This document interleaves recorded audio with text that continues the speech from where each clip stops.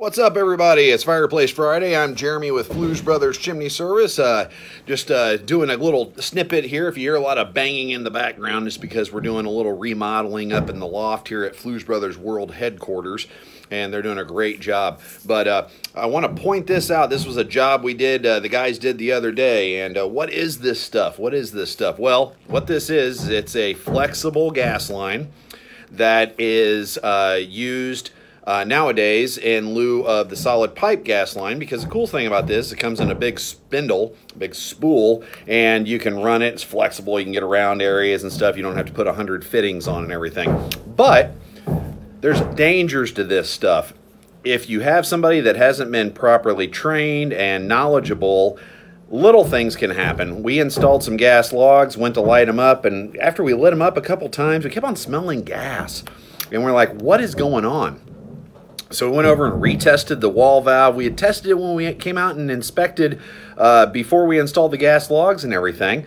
And uh, we didn't catch anything at that time. Well, we had used the gas so much that we found, okay, there is a gas leak and we're finding it on the floor. So we went down and this is a newly remodeled area of the home, crawled into the crawl space and got up and found that this line was leaking and it was hidden it was under insulation and all this stuff. You know so a standard inspection i mean we can't be tearing into walls and stuff like that during just a basic inspection. That would be what's called a level 3 inspection.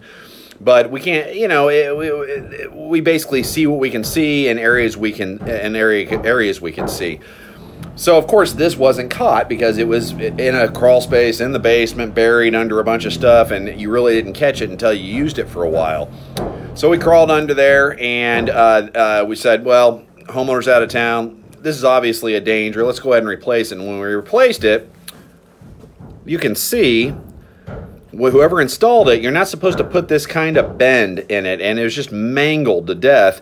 And when they did when they did the install incorrectly, it ended up with a slice. So this was leaking that much gas into a crawl space every time they use a fireplace and they hadn't used it a whole lot since they had it put in, but it was leaking gas into that crawl space. And if we wouldn't have caught that, that crawl space could fill up with gas, and then there's a furnace down there, and that furnace has a little igniter when it comes on, and that could spell catastrophe. Now, who is at blame for that? Would it be us because we did an inspection and it's not like we didn't catch it. We can't catch every little uh, area. You know, whenever someone inspects something, they can't be tearing into walls and getting into basements and digging at insulation and everything. Honestly, whoever installed this originally is to blame. They're obviously novice, um, and that is becoming kind of a bigger problem in all industries that you're getting a lot of uh, people that don't have a lot of experience. They're not getting trained properly, et cetera, et cetera. Because if you look around, if you've driven down the road, there's a help wanted sign on every single building. You can't throw a rock. You can't go outside and throw a rock without hitting a help wanted sign. So what's happening is, is these companies are uh, hiring a lot of a lot of people right now. We are too.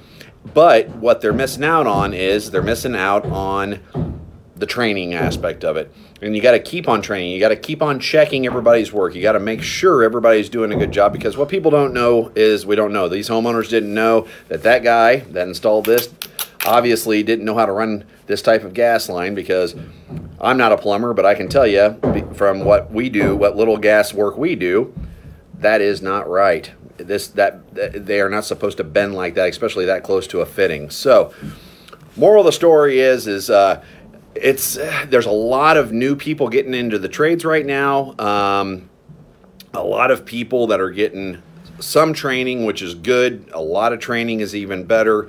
Um, but times are changing. It's it's hard to find those uh, those seasoned veterans that have been doing this for a long time. Um, so you as a homeowner uh, want to definitely make sure that you're using a good qualified company that has a lot of certifications and training and proof of training and licensing.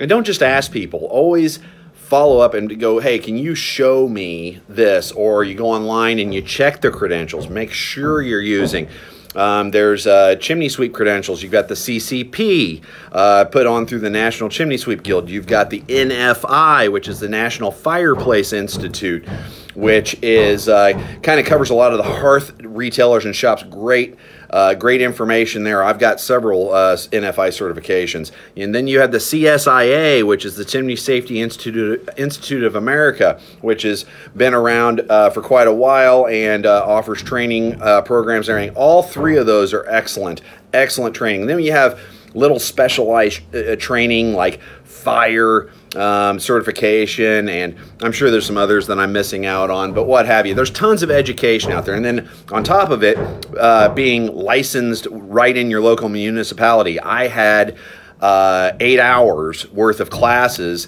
um, just the other day that I have to keep up on. I have to keep up a certain amount for my Johnson County licensing. And I actually ran into another chimney company there. There's only three companies I know of in Kansas City, three out of probably 20 um, companies that actually have licensing. And what people don't understand about licensing is, is licensing is forced education. It's basically, hey, it's just like these certifications that we have uh, in, our industry. They're, they're specialty licensing, especially certifications that are industry specific, and then you have the general ones that cities want you to have municipalities want you to have. And the whole reason it exists is to raise the bar, make sure things are being done right. If it needs a permit, pull a permit. If someone, you know, someone needs to put a second set of eyes on it or what have you from the city and check something, and great. But the biggest thing, the biggest reason that licensing exists is education. Keeping education hours, just like nurses do, just like doctors do, all these people. It doesn't matter how long you've been in it, these professional trades, you have to maintain, you have to keep on getting education. The education never stops. When I was at the uh, seminar, the few classes I took really didn't have a lot to do um, with uh, with our industry. Um, I'm planning on probably teaching a few classes for Johnson County because I see a lot of stuff that contractors need to know. But they were still good classes. All information is good information. I took a couple of classes on concrete and failures, which we do some concrete. We do, you know, concrete crowns and stuff, and I can apply all that towards it. But it expands my brain. The knowledge is the one thing nobody can ever take from you. And it's the best investment you'll ever make in yourself is knowledge. So you want to make sure it doesn't matter if someone's been doing it for 50 years. A lot of stuff thing changes over 50 years. Maybe they haven't been doing it right for 50 years. You want to use somebody that has that education, certification, exactly, all of that stuff. Um, because that's what causes people to grow. I've been in this industry for 22 years and I'm still taking classes, still taking all this stuff. My guys taking classes, I share that knowledge with my guys as well. We have trainers that come in, everything else. So, you want to make sure that you're using uh, a good, qualified, certified, licensed, all the above, and you're checking their credentials because I cannot believe how many people say, You are certified, right? Oh, yeah, oh, yeah. And they're not, you know. So, yeah, people lie to you. Sometimes they're ignorant to that there's certifications within an industry or licensing within an industry, etc. So, you want to make sure just like if you were hiring somebody, you want to do a background check. You want to make sure the person that you're getting is the person, or the, the person that you interviewed is the person that you're getting, and that you know there's no skeletons in the closet. You don't want you want to eh, make sure you can insure and make sure they can drive one of your vehicles properly and everything. And if you don't own a business, you want to make sure that anybody that you're hiring or what have you actually has those credentials. It shouldn't it shouldn't be uh, taboo. It should just be something here. Uh, uh, hey, do you have workman's comp and liability insurance? Yes, I do. Okay, can I just get a certificate? I don't have to be added to the plan or any of that other stuff that people think. But proof of the certificate would be nice.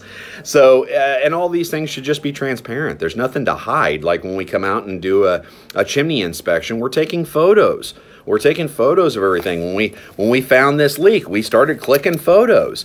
You know, we want people to be in the know of what we found or whatever. There's nothing to hide. Uh, we didn't cause this problem. We didn't go in there and down there and bend the gas line and whack it with a hammer and ah ha ha, yay. No, we didn't do any of that stuff. And I'm sure the person that installed it didn't mean to have a big old leak or any of that stuff. But this is what happens when, uh, you know, someone who hasn't had training hasn't had certifications, hasn't had a lot of stuff, goes to install something because uh, they sell this particular brand at Home Depot. Anybody can buy it. And then anybody can install it. And this is what happens when anybody does something. So, anyways, good uh, good information. Don't want to keep everybody all day. Thanks for being here, everybody. Have a great weekend. Uh, we'll see you next week for Fireplace Friday. Be safe.